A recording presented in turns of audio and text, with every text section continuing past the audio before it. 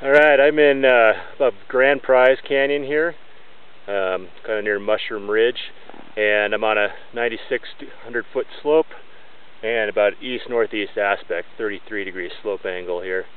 And um, there's a crust down here, and this crust has some little facets on top of it. So I'm going to do an extended column test and uh, see what we see.